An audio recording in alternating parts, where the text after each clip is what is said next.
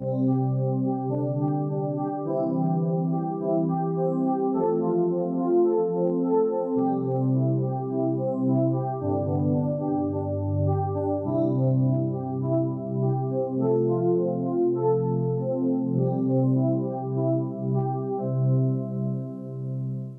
Szeretettel köszöntjük a kedves nézőket, Önök VNTV-t, Ivan Natura televíziót láthatnak, és más hangszeretettársalgás adássorozatunkban Jakab Istvánnal beszélgetünk a stúdióban. Sziasztok! Nagy szeretettel köszöntelek. Mondjuk így, hogy örök megfigyelőként, örök elemzőként rajta tartjuk a, a világon a szemünket. Az ember jó szokása, hogy azzal az értelemmel, értelmező képességgel megvan áldva, illetve egy kényszerrel, hogy meg akarjuk érteni mindig azt, ami történik. Már csak azért is, hogy tudjuk, hogy merre van az arra, merre kell fordulni.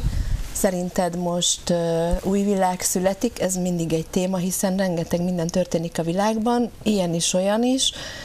Mostanában leginkább olyan dolgokkal van teli az esemény naptár, ami, ami nem annyira szimpatikus az embereknek, nem annyira baráti és bizalomkeltő a jövőt illetően. Te hogy látod azt, hogy merre fele megyünk,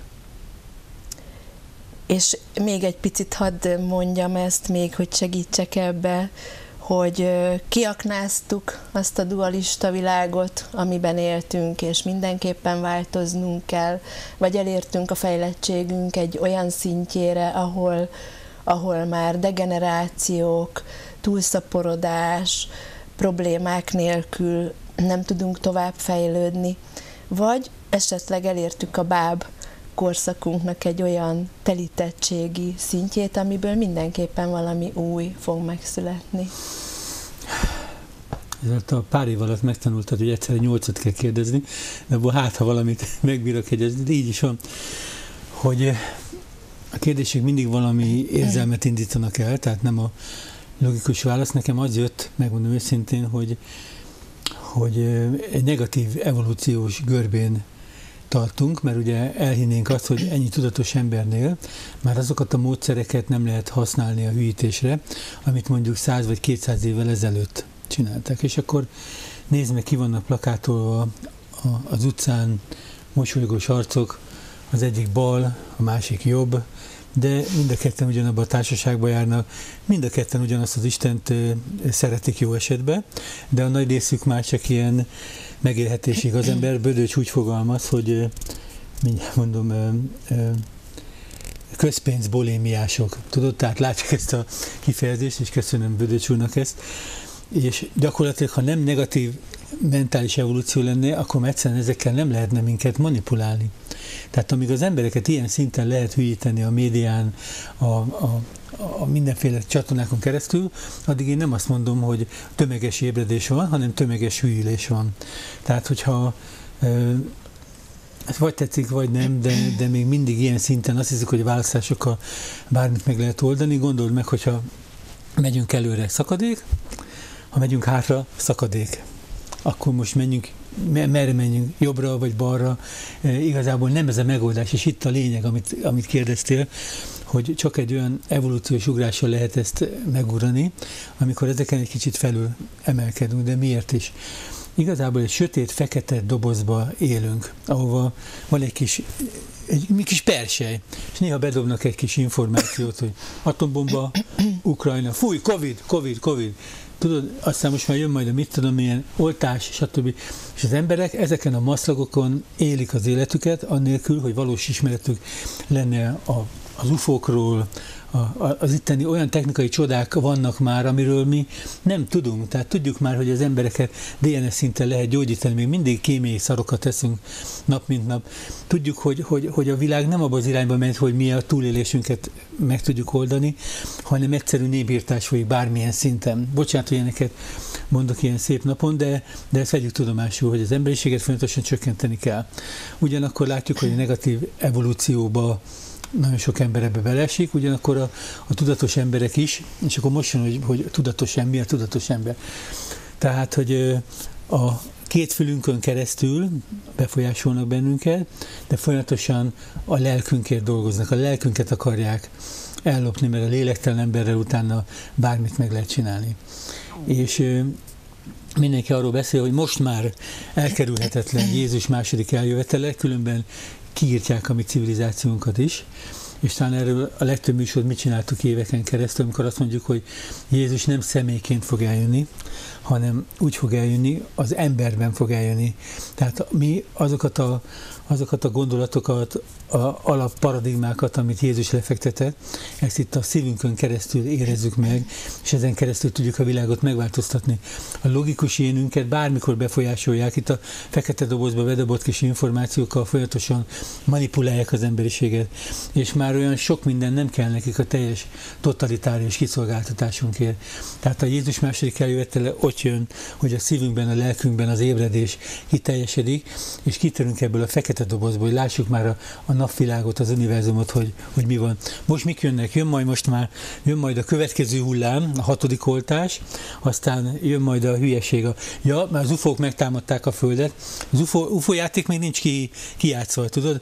Akkor jönnek majd a nagy spirituális tanoknak a, a meggyalázása, tudod, mert, ez, mert, mert ezt is tökéletesen el lehet vinni. Ti spirik vagytok? Na, akkor ez is hazugság. Tehát, hogy az összes dolgunkat, ami szentnek hiszünk, az tökéletesen sárba lehet tiporni ezzel a szisztémával, ami most van és hogyha ha nem foglalkozom azzal, hogy mit kérdeztél, igazából ö, folyamatos evolúcióban, átalakulásban vagyok jó magam is, meg, meg mindenki a környezetemben. Hogy ez a lépcső mérletét felfordítja, hogy az egyik kedvenc képünk Makro János barátom festette, ahol a fényből megyünk lefele a, a pincébe, de most megfordítjuk a dolgot, és elkezdtünk visszafele. Amikor az ötágú csillagot lefele fordították, az egy nagyon negatív szimbólum volt, ez meg egy kicsit hagyforduljon már meg az, hogy igenis ne járjuk már azt az utat, amit több ezer év óta járunk, hanem igenis van lehetőség, hogy legyen más. De ha a tudatokon keresztül ellopják a lelkünket, nincs esélyünk arra, hogy ezt a mostani világot túléljük, illetve mindig voltak egy páran, akik ezt túlélték, és erről szeretnék majd veled egy kicsit. Igen, érdekes volt, hogy sokat gondolkodtunk a korábbi fajokon, hogy ugye eltűntek, meg már ez a hatodik faj, meg ki tudja, hanyadik faj, és hogy mindegyiknek az volt a vége, hogy eljutottak valami szinten egy fejlettségre, vagy nagyon mélyre süllyedtek a fejletlenségükben, és ezért elpusztultak. De akkor hogy kerülünk mi ide?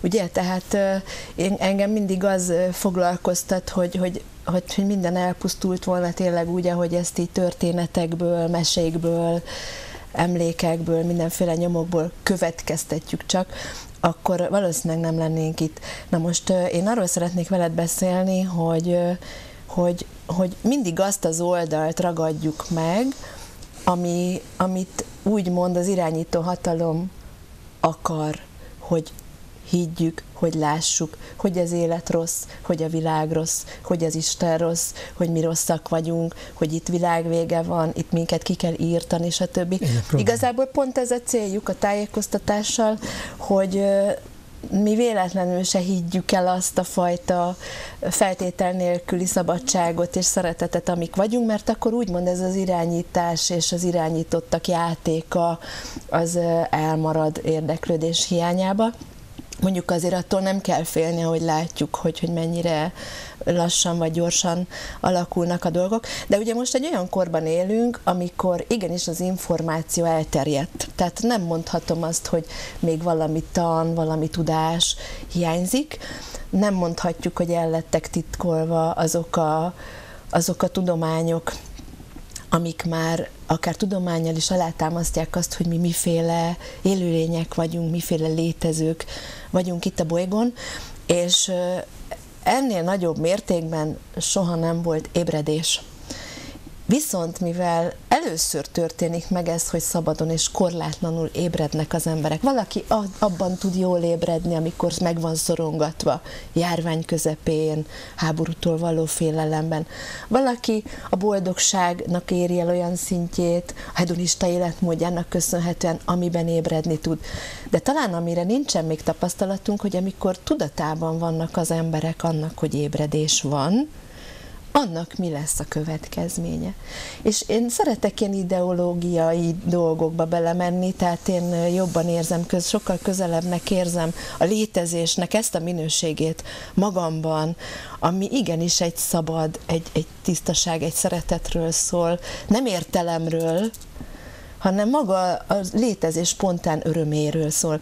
Na most elmersz-e, eljátszottál te már azzal a gondolattal, nem a világ végével, meg a kipusztulunk, meg megölnek, meg mindenfélét csinálnak. Eljátszott el azzal, hogyha tényleg ébredünk, nagyon sokan ébredünk, ami azt jelenti, hogy, hogy, hogy ez a szeretet minőség lesz a domináns és a meghatározó, akkor már merre megyünk tovább. Menjünk az elejére, ugye uh-huh. említetted Atlantiszt, meg az előző civilizációkat, ott mindig voltak túlélők. Ugye azt mondják, hogy ez a mostani sátánista háttérhatalom a atlantiszi fekete papok, meg a babiloni sátánista mágusok szellemi irányítása alatt működik.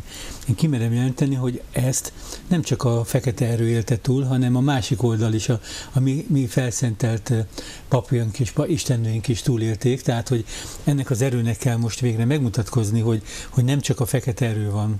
És amikor azt mondod, hogy mindenkibe ébred a, a Jézusi szellem, akkor egyszerűen ha az arányokat veszük figyelembe, akkor ugyanúgy nagy szarba vagyunk, mert ha 7,5 milliárd emberhez képest, lassan 8 milliárdhoz képest fölébred mondjuk 500 millió, mert régen 100 millióról beszélgettünk, emlékszel, hogy a 100 millió ember fölébred, de, de folyamatosan ez a negatív evolúciós massza, tömeg, az ugyanúgy jó Isten tudja mit csinálni. Én azt látom, hogy a, a felébredettek körébe gyűlnek a felébredettek, mert a fény jön a fényre. Tehát, hogy ezek, ezek az erők összecsoportosulnak, és inkább azt tudom első körbe elképzelni, hogy ezek a, ezek a kis fénykörök, ezek, ezek elvonulnak és kivonulnak a rendszerből. Ezt nagyon régóta mondjuk, mert, mert, mert aki akarja lejátszani ezt a játékot, az játsza le.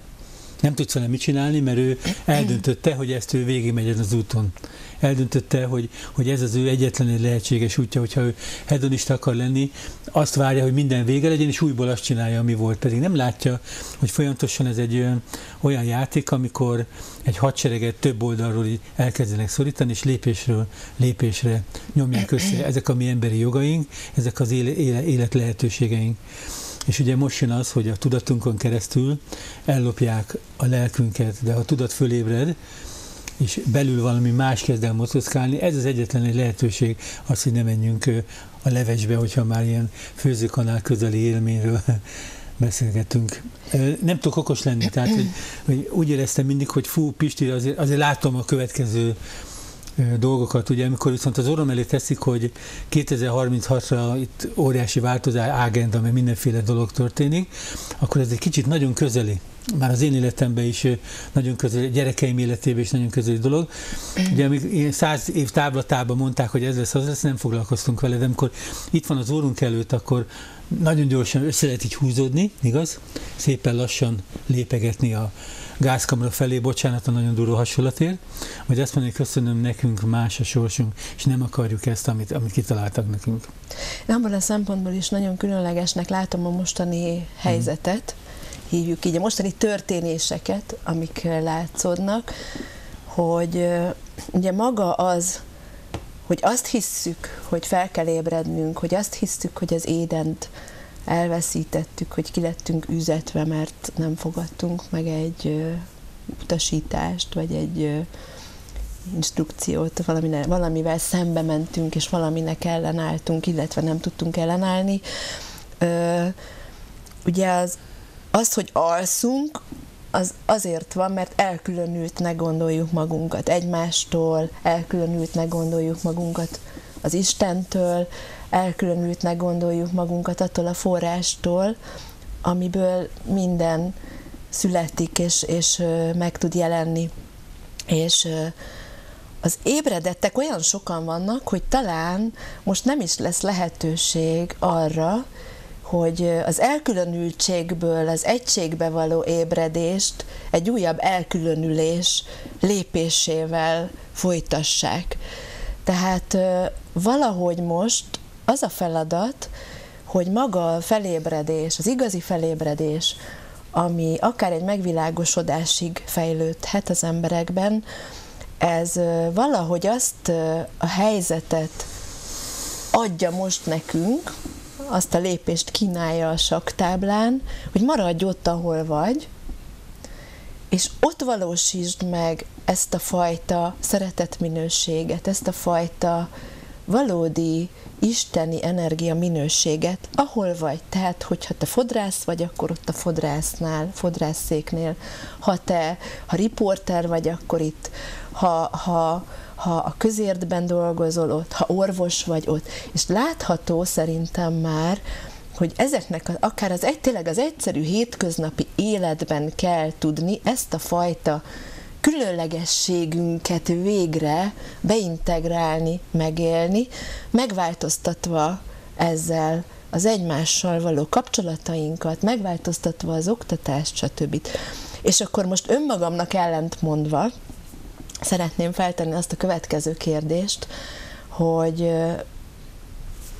egy nagyon érdekes üzenetet osztottunk meg, amit te írtál, azt hiszem talán a múlt héten vagy az ezelőtti héten, amikor a háborús helyzet kialakult itt a világban, újra egy komolyabb háborús, régi módi úton, módon történő átalakítása a világnak, régi eszköz, régi jól bevált eszközökkel, és azt írtad abba, hogy hogy ma már ezek a katonák valójában nem akarnak harcolni. Tehát a mai embernek már van egy olyan tudatossága, ami, ami már zsigerből utasítja el ezeket a helyzeteket.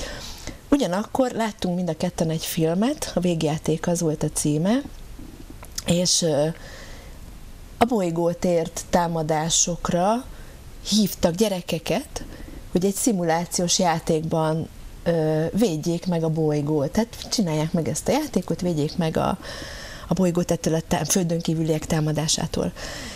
És, és nem a filmről akarok beszélni, hogy mi annak a története, mert azt mindenki megnézi, hogyha kíváncsi rá, hanem hogy, hogy a mai világ leges legjobb katonái, a legkiképzettebb katonái azok a gyermekek, akik igenis nagyon komoly háborús videójátékokon nőnek fel hogy erről neked mi a véleményed.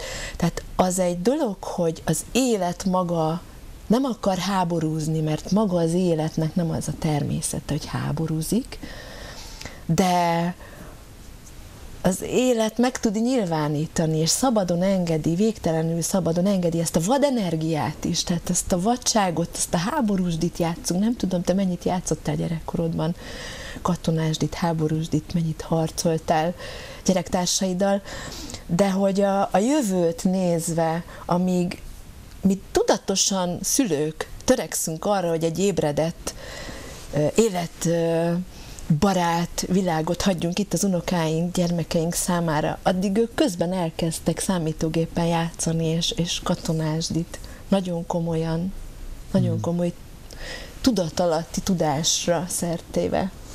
Oda menjünk vissza, ahol mondtad, hogy, hogy ez a, az ébredés, ez ugye 11 év óta ezt mondjuk, hogy egy, egyfajta szeretett vírus idézőjelbe, amit, amit betettünk az emberekbe, és annélkül, hogy ő, bármit tudna tenni, hogyha ő, ő a változásra tudatalattiba föltette az életét, akkor ő nem tud más csinálni.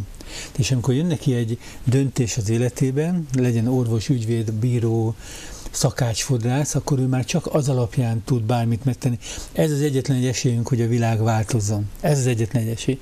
Ha még mindig az alapján fog dönteni, amit elvárnak tőle, meg, meg releváns a környezetébe, akkor végünk van. Tehát, hogy ez a, hogy elvárjuk azt a szállat mindenféleképpen, hogy a háborúban lévő gyerekek, ugye halljuk, hogy rengeteg dezertőr van, de kitől halljuk? Hát megint nincsenek fontos hiteles információink. Azt tudjuk, hogy hogy azért vannak olyan debil tömegek, akiket hosszú ideig elzártak, sanyargattak, stb.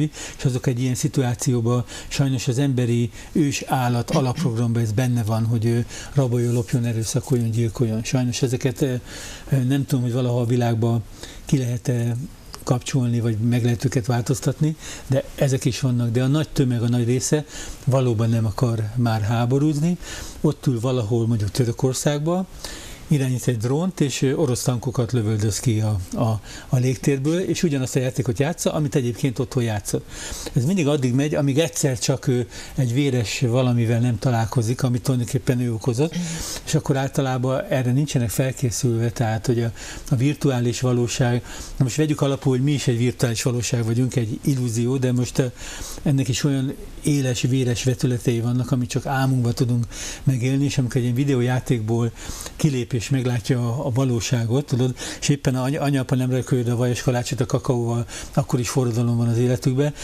Én nem érzem őket úgy, hogy, hogy és valószínűleg ez az én hitrendszeremben van, sajnos így van, hogy ők ezen a világon most ezzel a fajta virtuális játékkal tudnának bármit változtatni, ugyanakkor egy olyan virtuális világ következik oktatásban bárhol, ahol már az emberi kontaktusokat szétszakítják, és nekem ez a másik nagyon fontos részem, hogyha találkozunk emberekkel, első az, hogy vagy kezet fogunk, vagy megölelem, vagy beszélgetünk, mert az energiatranszfernél nincsen fontosabb a, a létezés között, de igazából elszaladtunk ebből a dologból.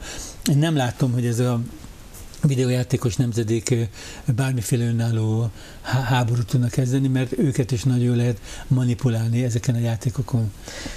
Igen, igazából arra, arra is szeretnék kiukadni, hogy maga a teremtés, maga hogy az élet miket tud produkálni, ugye ez, ez egy végtelen, az egy, ez egy végtelenül szabad, korlátlan dolog. Tehát nem fogjuk tudni soha a háborúkat kitörölni, nem fogjuk tudni azokat a dolgokat, az életnek csak az egyik oldalát nem tudjuk élni. Hogyha ha én valamelyik oldalát elutasítom, akkor, akkor pontosan ezt a végtelen szabadságát, a végtelen teljességét akarom megfosztani. És ugye a mai ember ettől szenved, hogy meg van fosztva ettől a teljességétől. Meg van fosztva attól, hogy, hogy ő szabadnak érezhesse magát. Megvan a szabadsága, valójában nem veszett el soha az éden, nem veszett el a szabadság, nem veszett el ez a mély belső béke és nyugalom, ami mindennek a forrása, de ugye mi a figyelmünkkel nem arra figyelünk.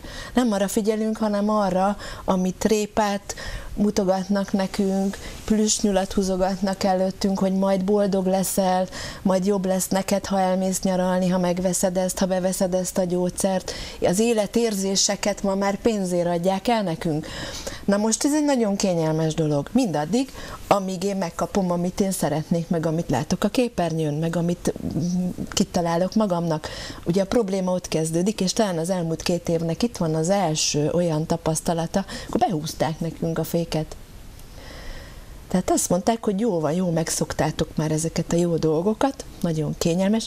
Még szerencsések vagyunk, hogy mi legalább élhettünk így, mert vannak azért a világnak olyan szegmensei, akik nem jutottak el idáig. Vannak olyan életek, amik most pont azt tapasztalják, hogy még olyan komoly gondban az életükben, hogy még a probléma felismeréséig sem jutnak el.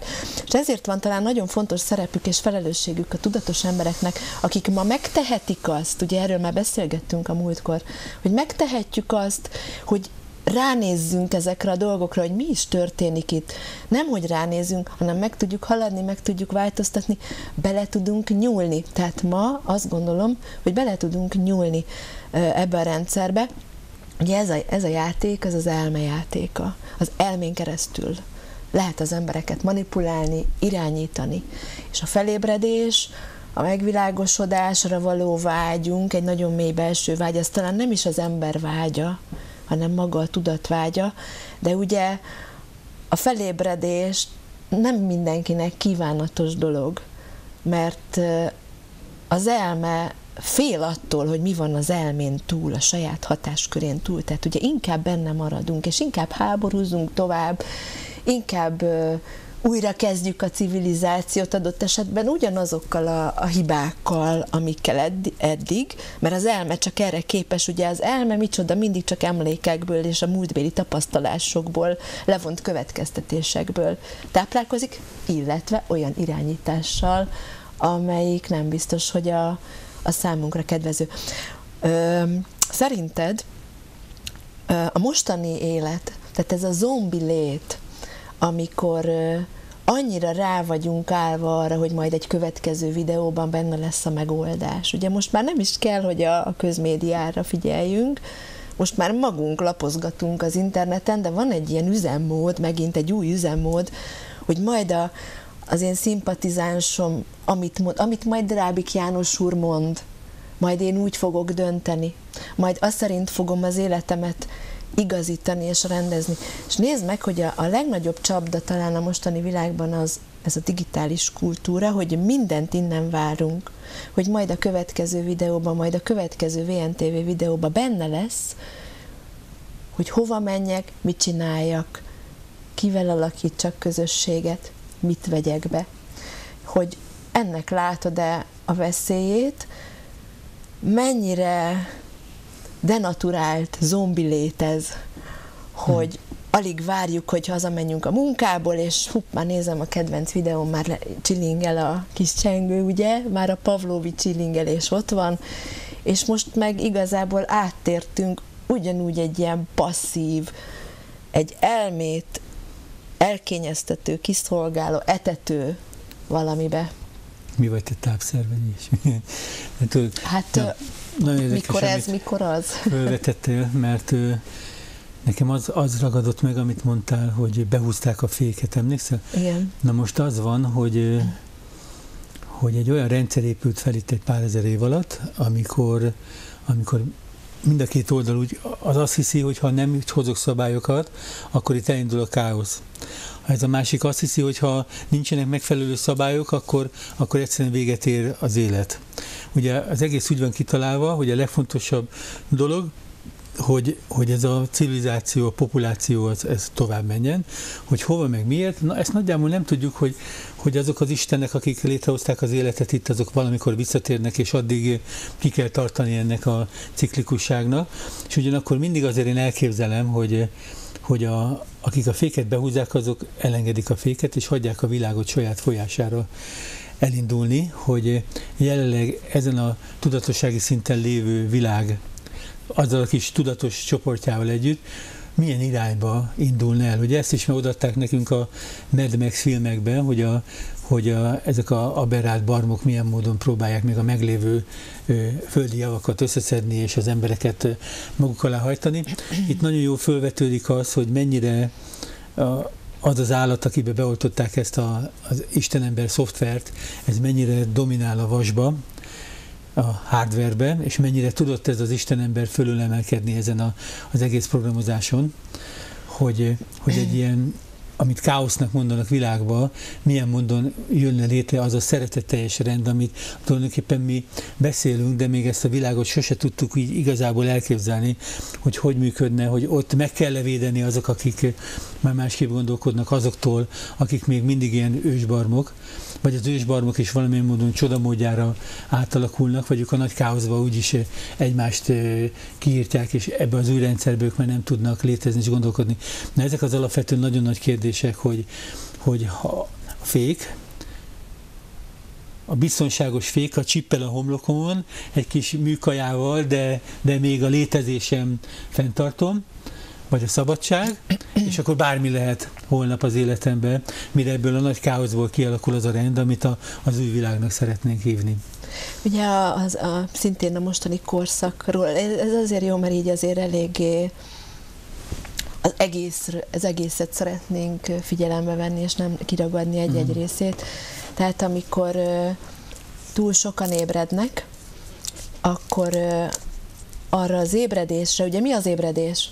Az ébredés az, hogy ráébredsz arra, hogy ez egy úgymond egy álomjáték, egy képzeletbeli játék, mert az elme játsza.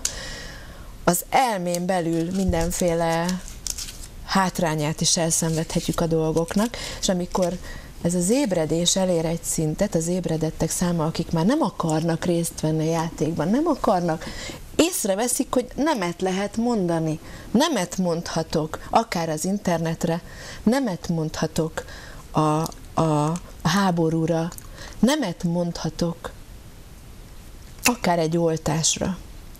És az ébredés úgymond veszélyezteti mindenképpen az irányító hatalmaknak a, az erejét. Mindenképpen csökkenti.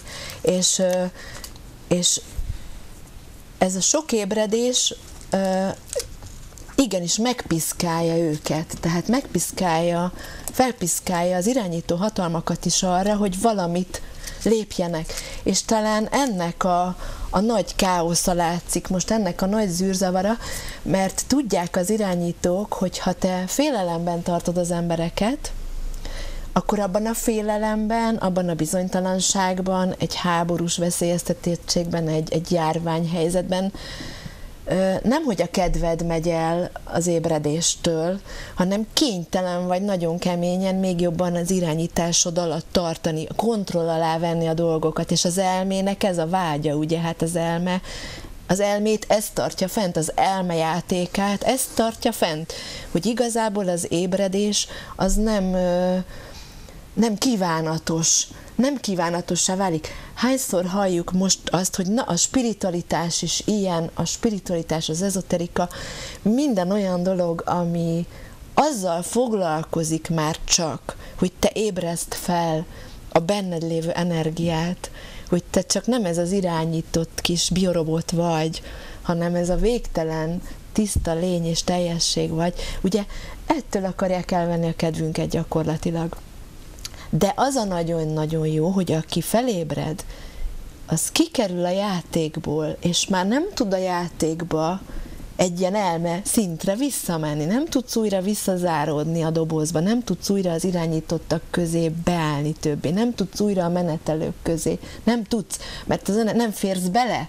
Tehát a játék kicsi dobozába nem férsz bele, az anyamévbe már nem tudsz visszabújni, ha a szellem kiszabadul a palackból, nem tud, a fokrém, ha kinyomtad, nem tud visszamenni. És Próbáltad körülbelül az ébredők, próbáltam, igen, próbáltam leelőrizni, az ébredettek nem tudnak már oda többet visszabújni, és valahol én, igen, ez egy végjáték, mert mert visszafele nincs út, tehát a felébredést követően nincs visszafele út, csak egyirányú. Ezt is már talán beszéltük, de te hogy látod ezt?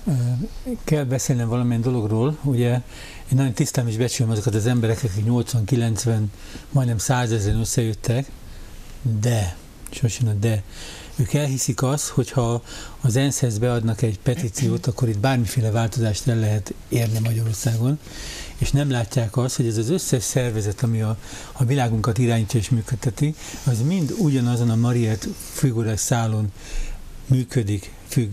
És a legnagyobb baj, hogy hamis reményeket adnak az embereknek, és utána még nagyobb a csalódás, és a, a csalódásból két dolog van, vagy apátia, vagy düh keletkezik. Uh-huh. Most a, a dühöt meg nagyon nem szeretné senki ráengedni a, a, az emberekre, és, és, és ezt úgy végig kéne gondolni, lépésről lépésre. Beadom, elolvassák, elsolvassák, elfektetik, majd fél múlva mondják, hogy, hogy ez most nem fontos ez a dolog, mert a világnak a járványal kell foglalkozni, stb. Tehát ez az összes világszervezet, amiket kiépítettek, pontosan azért, hogy ezeket a korlátainkat, a fékjeinket létrehozzák, ezek nem értünk vannak, ezt kell észrevenni. És hogy mondtad, hogy már nem csinálom meg,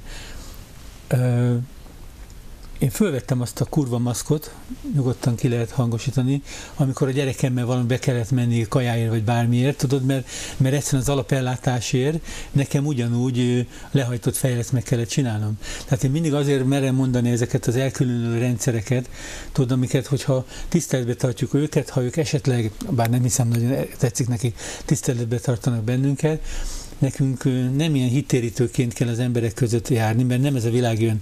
Vagy ébredsz, vagy nem ébredsz. Tudod, de én már nem tudlak téged meggyőzni, nem is akarlak. Szeretlek, mert ugyanúgy a Krisztusi szeretet bennem van, de én már szeretném azt a fajta életet élni, amire befizettem, idézőjelbe befizettem, nem pénzről van szó. És a felébredetteknek ezt kell tulajdonképpen összehozni a következő időbe, hogy igenis olyan platformokat alakítsanak ki, ahol nem csak digitális, hanem fizikai szinten is közösen tudnak magukért tenni. Én nem hiszek abba, hogy itt az ensz a WHO-val vagy bármivel lehetne csinálni, az ugyanúgy ennek a korlátozó hatalomnak a, a, a gépezete a kezébe van, és az egyéni emberi ébredés csak, ami fölül tud írni minden hatalmat, ami van itt a világban. Még akkor se biztos, hogy a kis pillangó, amikor megrázza a kis szárnyait, ugye erről fogunk mindjárt beszélni, hogy, hogy mekkora esély van rá, hogy mit tudom, egy százezer pajorból, vagy, vagy ilyen bebábozódott kis dologból pillangó lehessen, hány százaléka, egy százalék, két százalék, nagyon kicsi ez a szám, de amíg nincsenek pillangók, addig nincs is változás. Azért szerintem az egy jó hír, hogy a, a pillangónál talán különlegesebb, azt gondoljuk legalábbis mi magunkról emberek, hogy különlegesebb tudattal áldott meg a, az ég, a természet bennünket, és az ébredettek már a nagyon sokan, igen, igen, igen, igen, nem, hanem nem, én, én is azért mondom, hogy valószínűleg ez az arány, ez most nem ennyi csak, hanem jóval több. Pont ezért, mert az ember már maga jelen van ebben a folyamatban. Jelen hmm. vagy, tudsz róla. Pillangó egy öntudatlanul éli az pillangó életét, nem tudja, hogy született, nem tudja, meghalt, nem tudja, mi történt ez alatt. Egy öntudatlan természetes folyamatot él meg.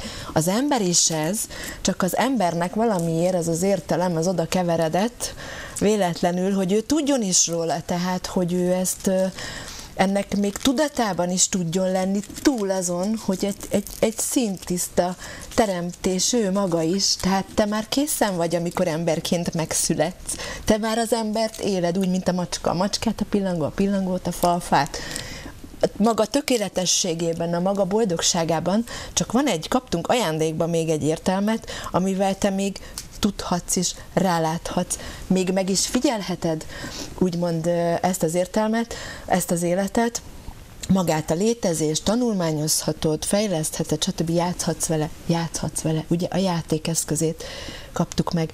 Na most a felébredettek már nagyon sokan tudják, hogy a felébredésnek ugye több fokozata van, látszólag itt a létezésünkben az egy dolog, hogy rájössz, hogy nem is úgy vannak a dolgok, ahogy rájössz, hogy át vagy esetleg verve, rájössz, hogy téged megvezetnek, rájössz, hogy miket hittél el magadról és a világról és a, a jóságról, az Istenről, miket hittél el. Na most a, a felébredés itt nem áll meg mert a, maga, amit megvilágosodásnak nevezünk, ami egy teljes ébredés, az már nem az ember hatásköre. Azt már nem tudjuk mi megcsinálni. Az nem tőlem függ, hogy én meditálok, vagy nem, hogy eszek-e húst, vagy nem, hogy tudatos vagyok, vagy nem, hogy minek képzelem magamat, vagy nem. Nem ettől függ. És a legnagyobb ö, csodáját ö, a létezésnek ebben látom, hogy az elmén túl történhet meg a teljes megvilágosodás csak senki nem veheti el tőlünk, és senki nem szerezheti azt meg. És semmi nem dönti azt el, hogy ki érdemes erre, vagy nem, ki szolgált rá erre, vagy nem.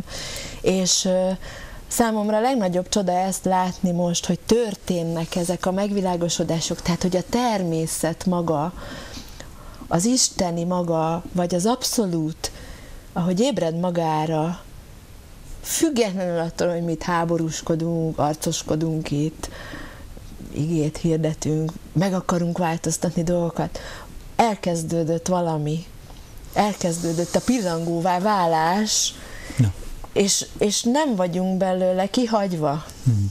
Ugye azt kell látni, hogy a, az előző korszaknak az összes bástyája, letéteménye ott van a rendszerben ott van a hárp, ott van a elektromágneses befolyásolók, ott van a gyógyszer, ott van minden ott van, amit kitaláltak, hogy ezt a kordát betartsák. Igen?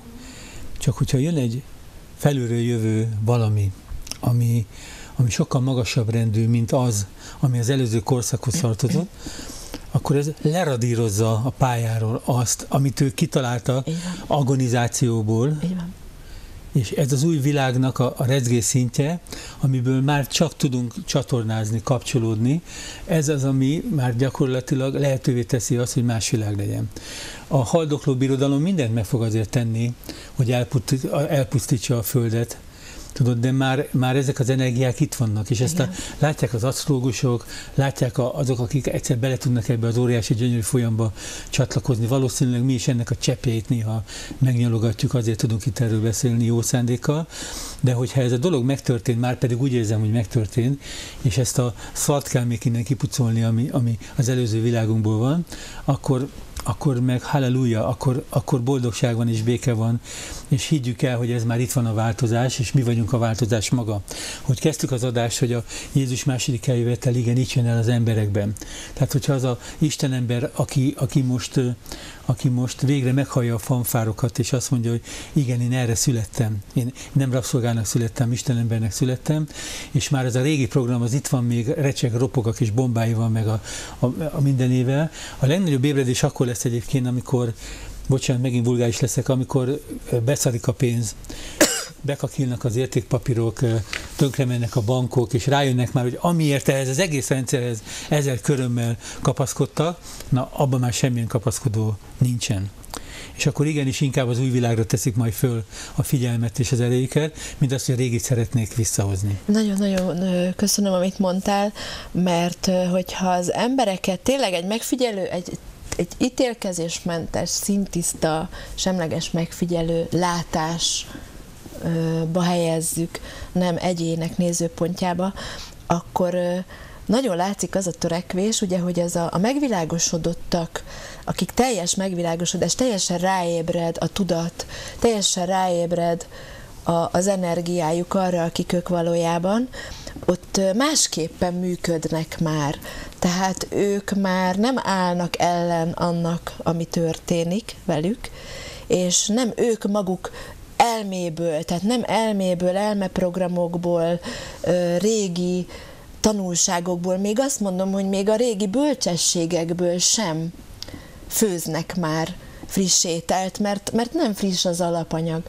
És amikor a megvilágosodottak világa kezd kialakulni, az magától történik.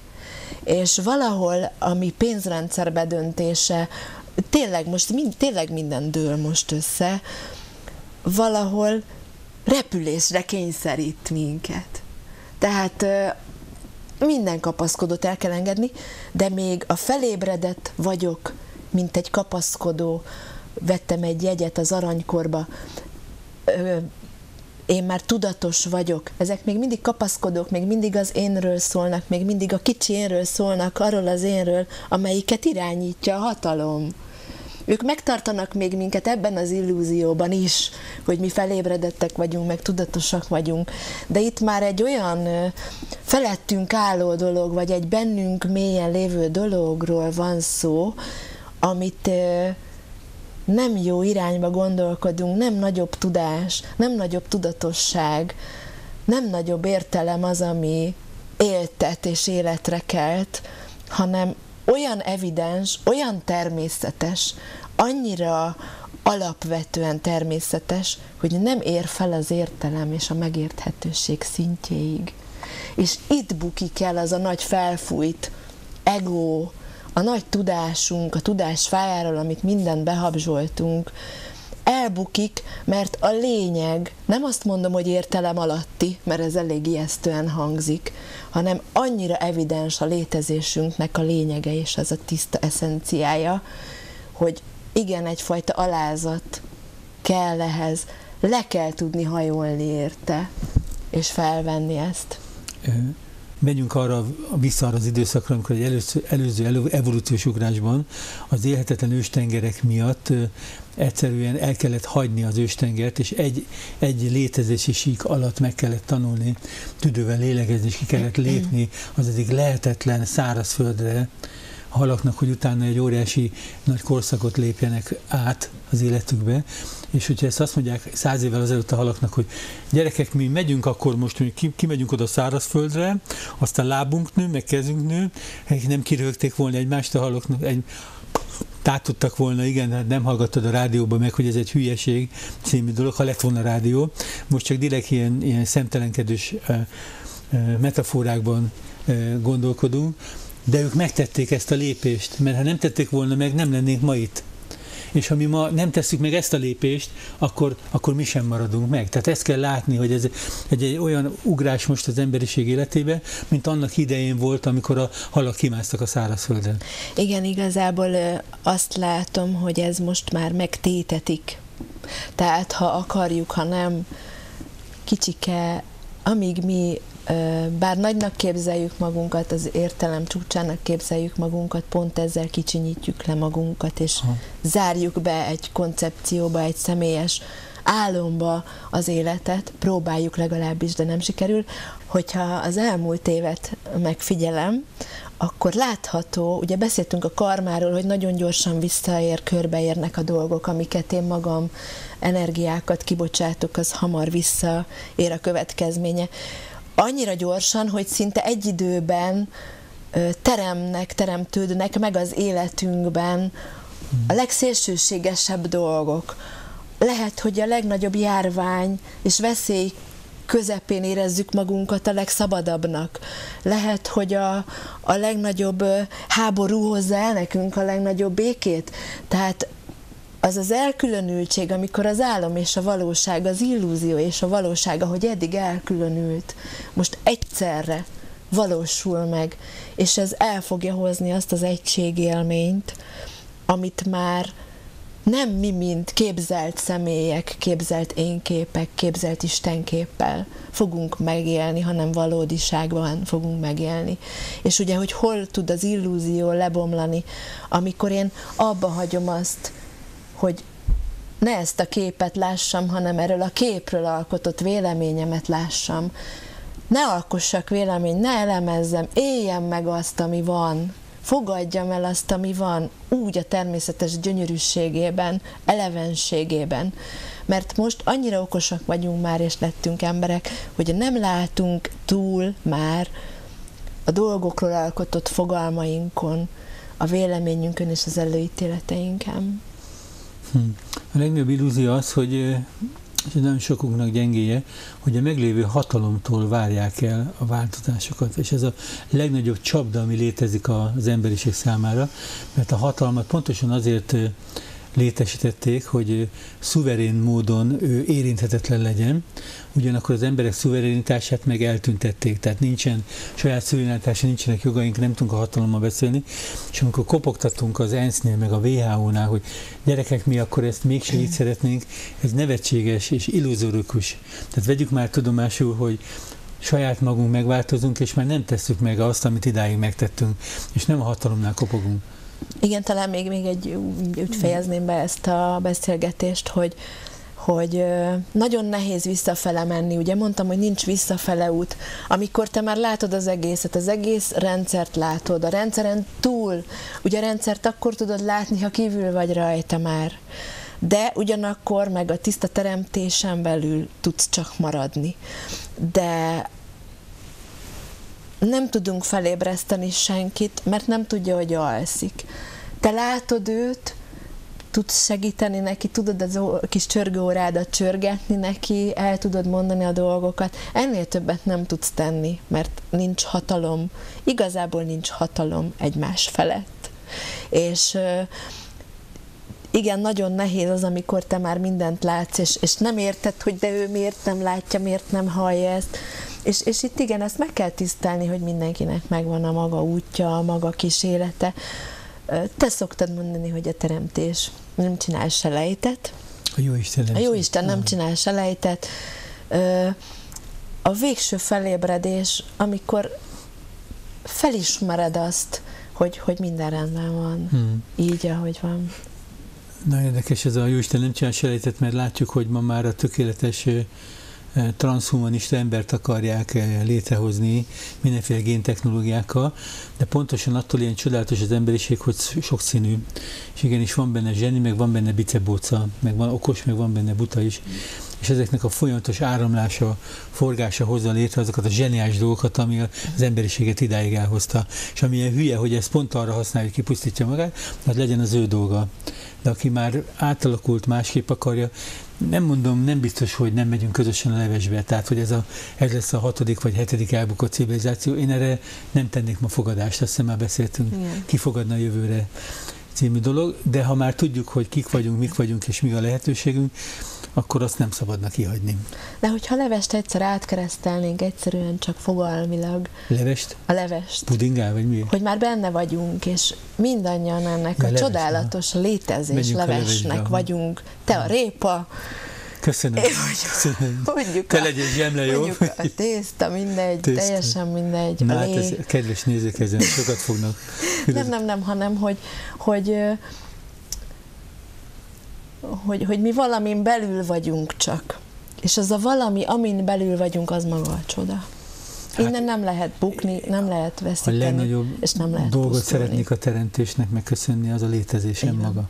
És ez mindenki, aki itt lehet, aki érzékelheti ezt a gyönyörű világot, bármennyire próbáljuk közösen tönkretenni, ez csoda, hogy létezhetünk. És pont ilyenkor, amikor egy óriási nagy evolúciós ugrás van, és ez a 15 év, amit még adtak itt nekünk 2036-ig, az bőven elég arra, hogy ezt a világot átalakítsuk és megváltoztassuk. És, és soha nem fogjuk befejezni a beszélgetést, de még egy dolgot beszéltünk itt a héten, hogy azt mindenki viszont eldöntheti, hogy mihez asszisztál. Hogy minek a statisztája ő. Hova áll sorba, melyik sorba áll, beáll-e a sorba, marad a fotelban, föl kell belőle, hmm. utána néz, hogy miről beszélünk-e, mekkora zöldségeket, vagy tényleg megtapasztalhatja magában. Úgyhogy én ezzel hmm. zárnám. Köszönöm, hogy itt lehettem.